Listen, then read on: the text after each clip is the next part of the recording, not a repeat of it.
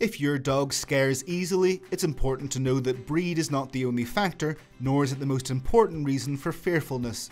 With this in mind, AnimalWised looks at the dog breeds with the greatest predisposition toward fear, according to a study by the University of Helsinki.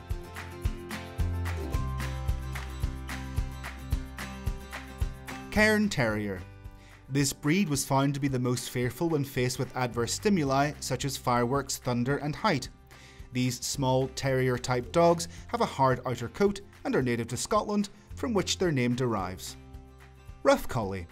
You may be surprised to see this dog on the list of most timid dogs due to their image as a brave and exemplary dog hero known as Lassie. But they have been reported to have a high predisposition to fear thunder and height and generally require education to avoid shyness. Discover the truth about the dog that played Lassie in the video that we share above, Lagotto Romagnolo. This breed stands out as the most fearful dog when faced with thunder, with high or moderate reactivity in the face of fireworks.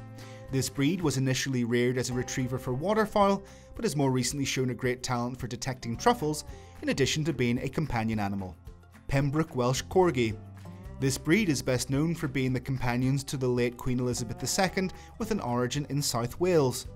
In terms of their predisposition toward fear, they are particularly scared of fireworks and thunder. On the other hand, they seem to be less fearful in the face of heights and surfaces, something which shows not all shy dogs will be fearful in the same way. Chihuahua. Despite a general fearlessness in confronting larger dogs, the Chihuahua was found to have a high predisposition toward fearing heights and surfaces, something likely related to their small size and low muscle density.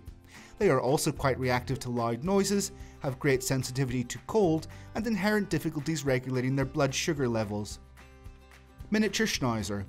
They also show one of the most significant predispositions to fear of heights and surfaces. Although their roots are in Germany, they share certain character traits with the Mexican Chihuahua. Both have a very strong character and need correct socialization to prevent excessively fearful behaviour, as well as the manifestation of jealous and possessive behaviours in relation to their guardians. Spanish Water Dog Although their response to loud noises has been quite satisfactory, Spanish water dogs are one of the dog breeds most afraid of strangers and new situations. This reinforces the importance of early socialization in this breed for the prevention of behavioural problems in adulthood. Shetland Sheepdog the Sheltie is also one of the most fearful dog breeds with strangers, with shyness being one of the most characteristic traits of their common personality.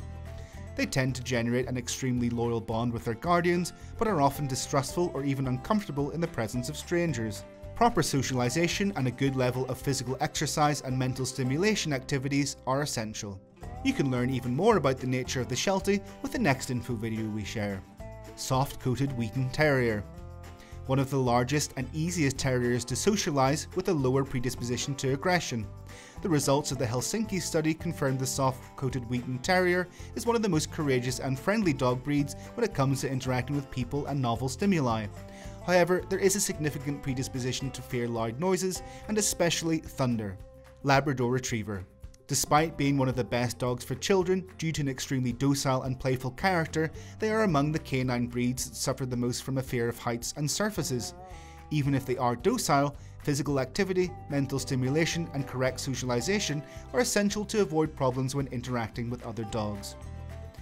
Although your dog may be among the dog breeds considered most fearful, there are many ways to help them build their confidence to deal with their own emotions and the many stimuli around them. To do this, always provide good socialisation and positive reinforcement in their education, as well as avoiding punishment, confinement, and any form of physical or emotional violence. If you want to keep learning about other dog breeds, don't miss the playlist we share here. Does your dog become easily frightened? Let us know about it in the comments, and we'll see you next time.